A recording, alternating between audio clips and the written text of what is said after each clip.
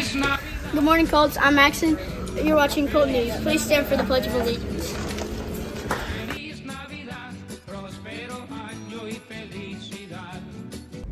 Attention, salute, pledge. I pledge allegiance to the flag of the United States of America and to the republic for which it stands, one nation, under God, indivisible, with liberty and justice for all.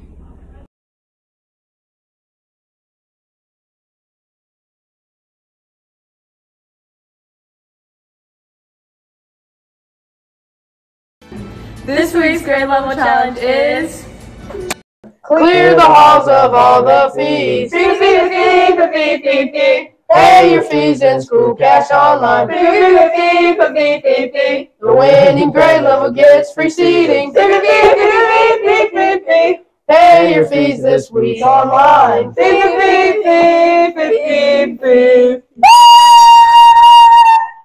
Ho ho, happy holiday, Colts. I'm Conley, and I'm wearing pajama pants. I mean, and you're watching Colt News, holiday style. Today is Wednesday, December 6th, Polar Express and PJ Day. Today, Art Club and Homework Club meet from 3 to 4, and the Holiday Store and Book Fair just have two days remaining of shopping time.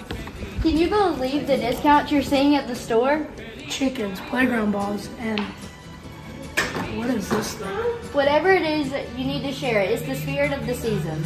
Come get this at the holiday store. You're gonna love it. Have a merry day, Colt!